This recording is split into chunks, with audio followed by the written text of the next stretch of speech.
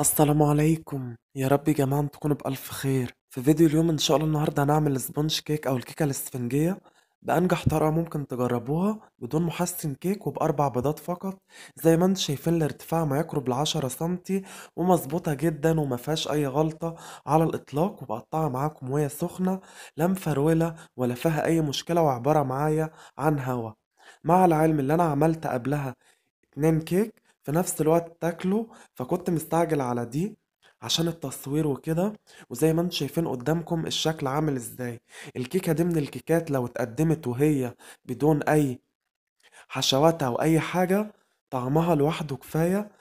يعني تتاكل سادة عن اللي معمولة بمحسن يعني مفيش أي وجه مقارنة على الإطلاق قدامكم تفاصيلها عاملة إزاي مظبوطة جدا ورهيبة. يا ريت بقى يا جماعة كل اللي لسه جديد ينزل يعمل اشتراك وتفعيل الجرس. وأهم حاجة كل اللي موجود إعجاب للفيديو ومشاركة ومتنسوش تسيبولي تعليق عشان تعليقاتكم بتفرحني جدا. يلا نبدأ.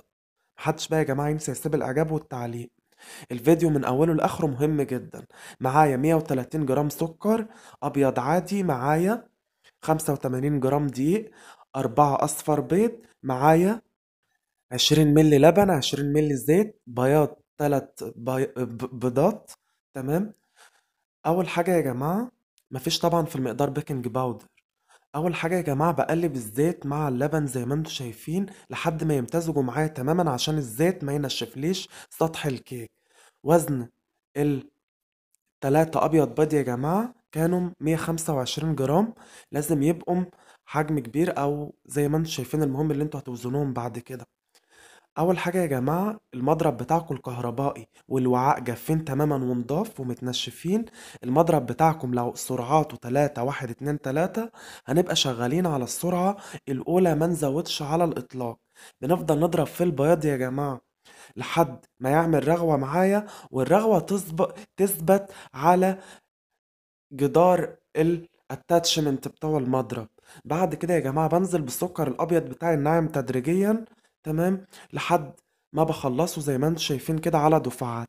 الناس اللي ما بتعرفش تفصل البيض عن الصفار بيضك هتحطيه في التلاجة وهتكسريه وهتحط إيدك تحت الصفار هتلاقي الصفار في إيدك والبياض نزل في الوعاء الجاف بتاعك. لأن الصفار هيكون شد وتسيبه لما يوصل لدرجة حرارة الغرفة.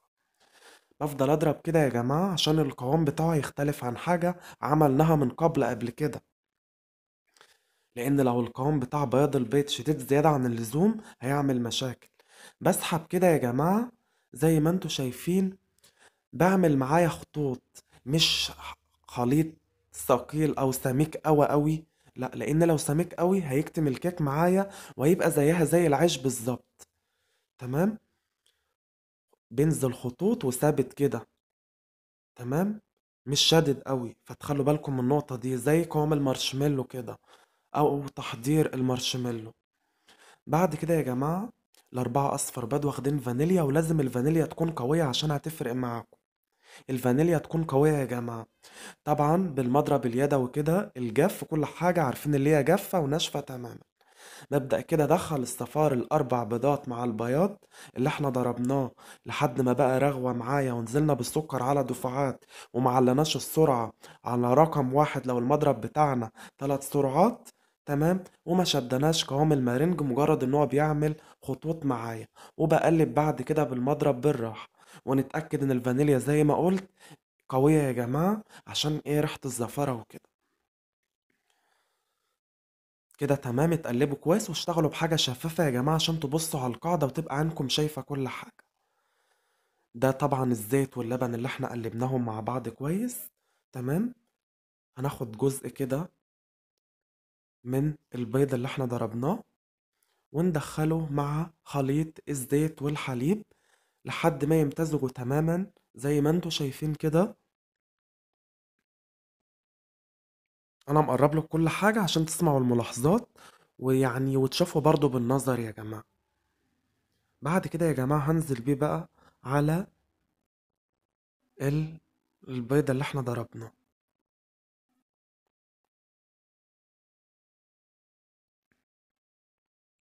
وبندخله كويس كده مع باقي المكونات. نشوف بعد كده يا جماعة بعد ما ندخله كويس نعمل ايدكم ماشية بالراحة يا جماعة.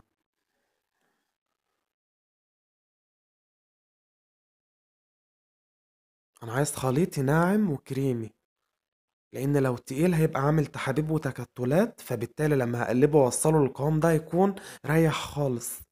بعد كده يا جماعة على مصفى أنا مستخدم دقيق مخبوزات بيحافظ معايا على القوام وكده كده مش هنقلب كتير يا إما دقيق مخبوزات يا إما دقيق جميع الأغراض يا إما دقيق الكيك. بننزل كده بالمصفى شوية بشوية مبتدئين هنستغنى عن الاسباتيو لو ماشيين بالمضرب بالراحة.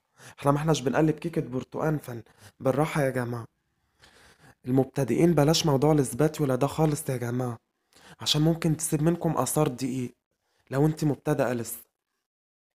مبتدئين برضو يا جماعة ممكن نضيف على الدقيق من 2 جرام ل 4 جرام baking powder لو مبتدئين. أنا طبعا مش محتاج ال baking powder لأن يعني أنا طبقت الوصفة كتير وخدت عليه زي ما أنتوا شايفين كده.